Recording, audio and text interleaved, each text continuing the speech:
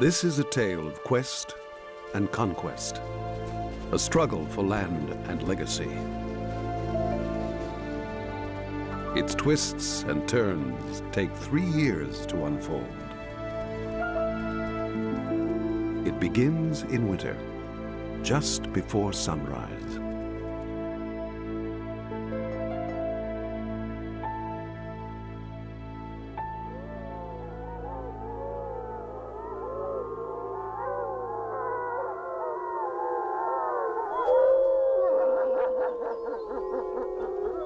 For the Druid Peak Pack, the Lamar Valley in northern Yellowstone has always been home. The Druids have ruled this valley for eight years.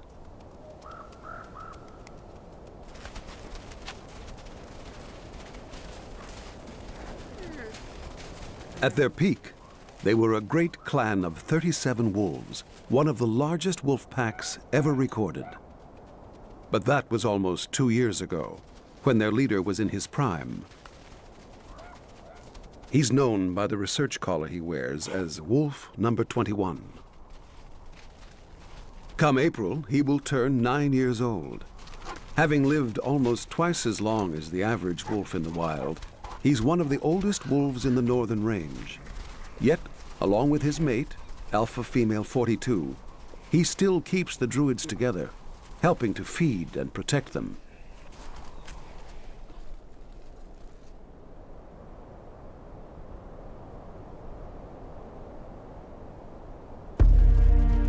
The early morning howl was no casual conversation. It was the Druid call to arms. Wolves are born to hunt, and Lamar Valley is the finest hunting ground in all of Yellowstone. Each winter, some 2,000 elk from Yellowstone's northern herd descend into Lamar. The valley is surrounded by mountains and sheltered from the deepest snow. But though the valley is the key to the elk's survival, here they must face the wolves.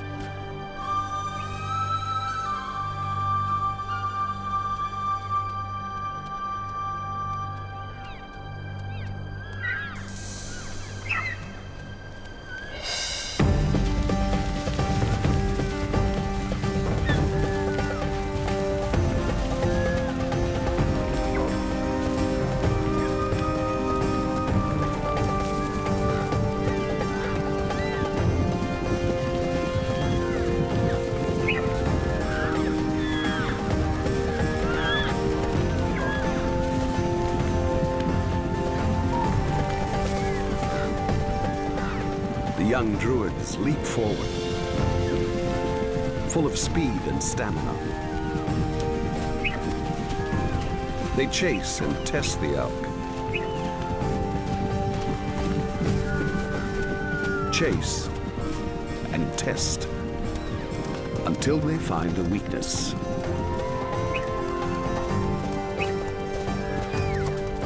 Old 21 gamely plays his part.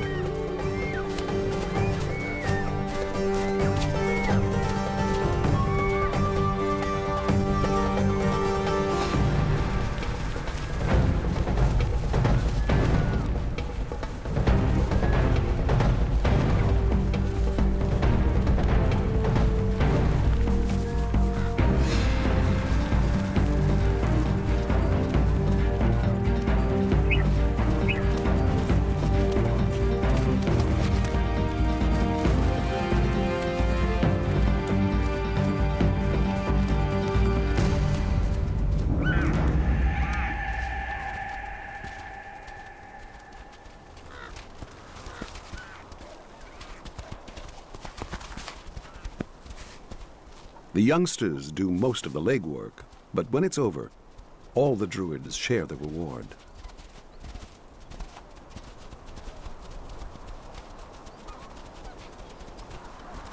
A pack this size must kill every two or three days, and this supports many other residents of the valley.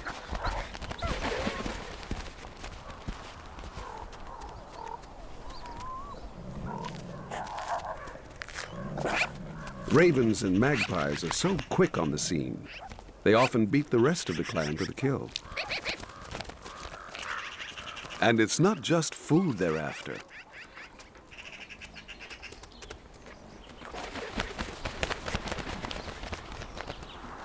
A pair of ravens makes off with a bit of fur, perfect for renovating their nest this time of year. But scavengers need to be cautious. It's always wise to give wolves a wide berth.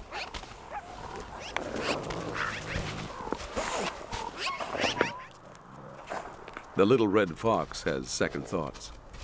He won't return until the druids are long gone. But this pair of coyotes can be too bold for their own good. While the wolves are still at the carcass, the smart move is to hang back.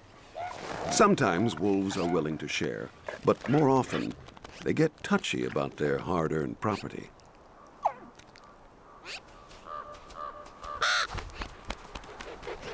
But the druids are too full to move. If they haven't eaten in several days, they will gorge and consume 20 pounds in a single meal. About all they can manage now is a nap. Still, the coyotes approach with caution. They can never be sure when wolves will turn.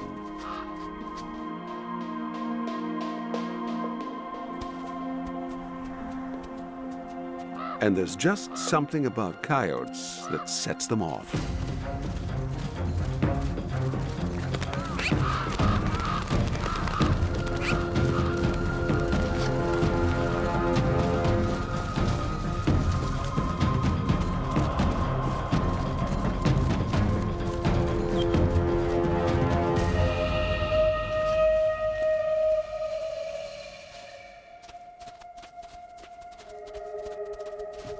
The Druids are not out for blood this time, but the coyote couple has had a scare.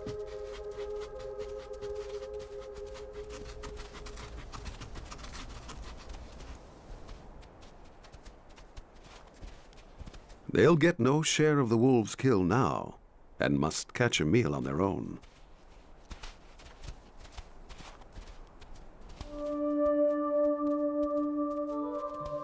Rustling around in the frozen grass, a vole gets careless.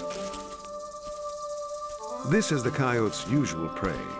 At least this much of the valley is his.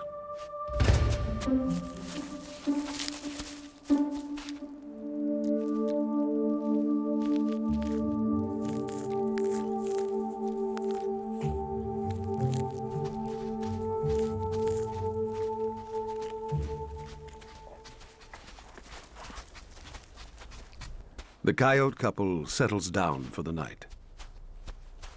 As mates, they share a territory in the valley and a bond that will last for life.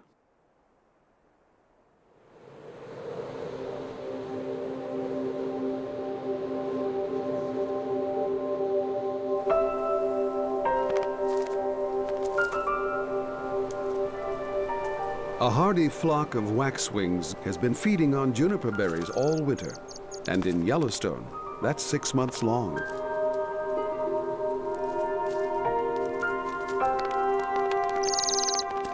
Yet, with two months of winter still to go, a hint of spring is in the air. A lone black wolf is coming to call on the Druids.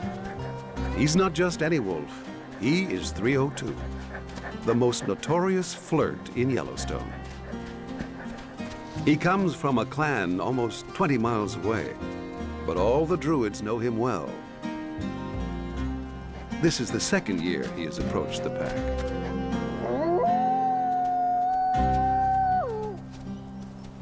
Twenty-one and his mate are not exactly pleased to see him. Their daughter, however, can hardly contain herself.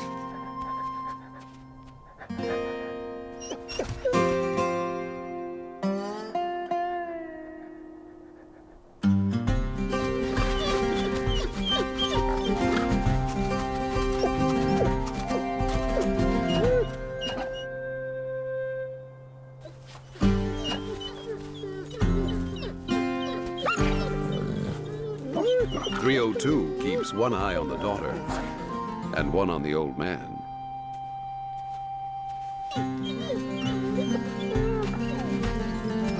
Finally, 21 has had enough. 302 beats a hasty retreat. He's more of a Casanova, a lover, not a fighter. He wants no part of challenging the old chief.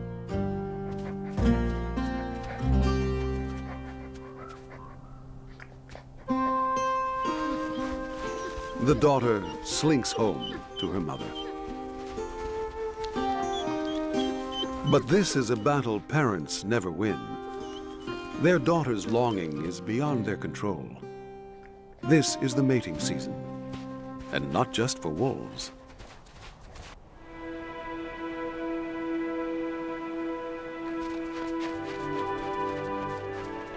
The mating season is something coyotes and wolves have in common. And the little coyote couple heads off for a moment to themselves. Uh-huh.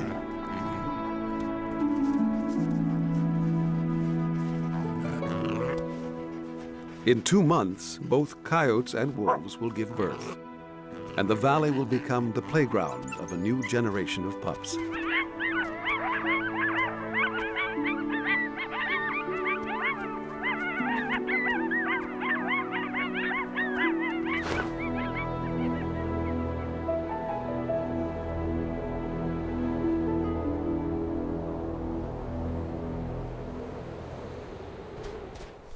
The next day, the Casanova is back for more.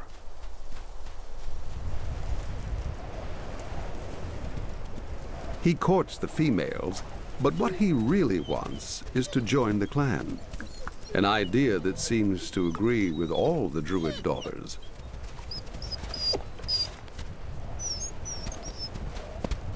Though this is the usual way a wolf changes clans, the alpha pair will not allow it.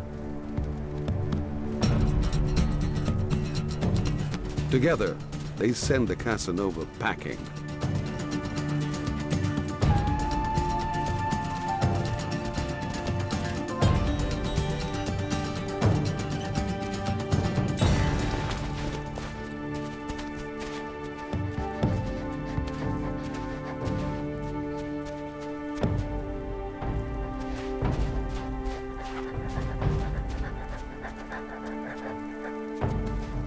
The old couple still makes a formidable team. They restore order to their valley, but it won't last for long. They are at the end of their reign.